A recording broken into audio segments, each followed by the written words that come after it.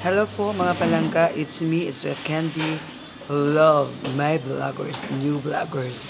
So nandito po ako ngayon sa my, sa friend ko. So pangalan niya si Agos. Na, nakapasok na ako ngayon sa bahay niya. So kunin po natin yung lahat ng mga collection niya. Yung mga sh- shoes and mga bags. So ngayon ipakita ko po sa inyo, ito yung bago niyang shoes. Pero I don't know is what is the brand.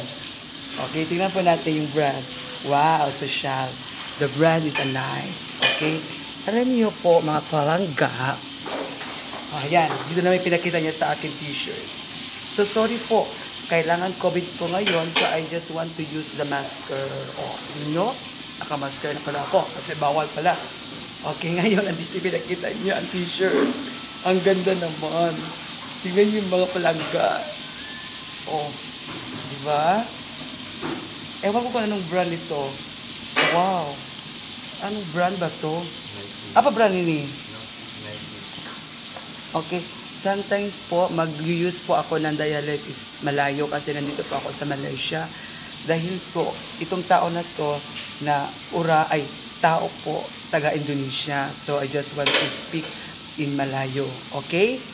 Okay po mga palangga. Wow.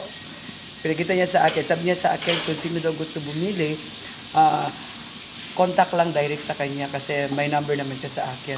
So, ang ganda naman, parang bagay sa akin. So, bagay din ng number. I like this a number. Diba, mga guy? Ay, mga palangga. So, ngayon, ito yung mga collection niya. Mm.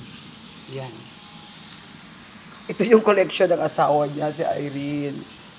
May bag siya, pero kahit wala siyang, ibig, sabihin na kahit na walang brand, pero may value po sa kanya. Di ba, mga palangga? Tignan niyo po. Ayan. Aside sa t-shirts niya, kasi nagbibenta kasi siya ng mga iba't ibang mga items. So ngayon, una pinakita niya sa akin yung t-shirt. Sabi niya sa akin, kung sino daw yung mga friends ko na gusto bumili ng t-shirt, to direct to contact to Agos. Ah, so Agos po, siya po ay taga-Indonesia. Nandito po ako ngayon sa Malaysia ha. O ito po ay pinaka tuktok sa Sabah po. Ayan. Ngayon, tignan pa natin lahat yung mga collection niya. Yan. Mm. Yan. Ang ganda, di ba? Mm, very nice naman. So, alam niyo po yung mga branded to kasi mahilig kasi siya mga collection na may mga signature. Mm-mm. Yan. Saan ba yung Nike Agos? oh, saan pa? Malalagi. Yada. Oh. Ayan. Ito na naman yung mga cups niya. Cups ha? Over cups. Hot. Hot po, sorry. Ayan. Toy. Ayan po. Ah. Kahit tumurahin lang yan, pero may value yan sa kanya. Kaya pumapasok ako sa kanya dito, ah, sinabi ko sa kanya na kukunin ko ng video. Super sexy talaga siya.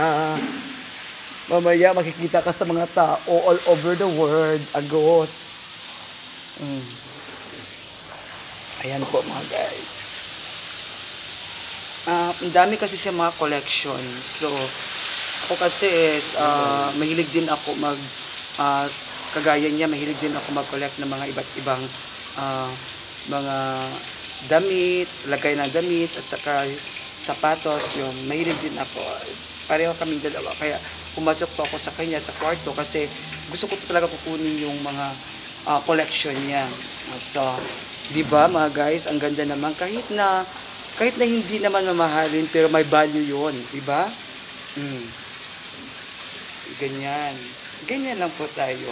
So siguro pagkatapos ng COVID, this is my first uh, video log, my vlogger. So siguro, siguro sa next time, so kukunin ko yung pinakamagandang mga view na naman. Iba't ibang ah, iba't ibang istorya at saka ibang ibang mga views na ipapakita ko sa inyo. From now on, ito muna yung mga kagamitan ng mga kai- ng kaibigan ko na si Agos.